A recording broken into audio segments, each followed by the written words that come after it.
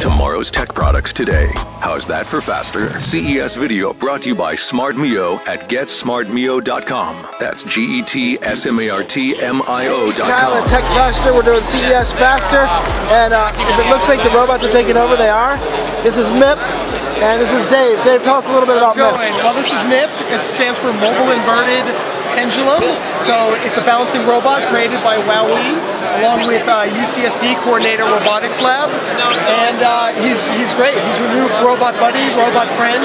Uh, he works off of gesture-based technology, so hand gestures will control MIP. A little bit crazy in here with all the Bluetooth, but this guy's in kind of a roaming mode. This guy, you can kind of stack things on and he'll balance. Let's see. Whoa. So MIP will carry up to his own weight. Uh, and he'll also, let's see if I can maybe put him into a mode, little stacking mode or a little dance mode. See here. So we can do a little little dance, a little shake, and a little shimmy to some music that we have going on.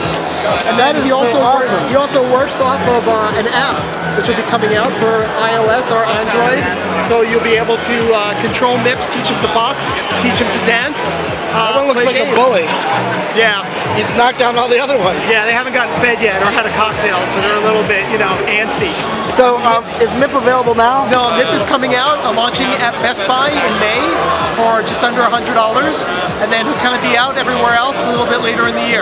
That is awesome. Where can people find out more information? Uh, you can go to wowwee.com. Wow, that was fast. Find out more at techfaster.com, keyword CES. CES 2014 coverage brought to you by 3DLT.com, Bounceit.com, and iSpotlightApp.com. Tech Faster, giving you CES faster.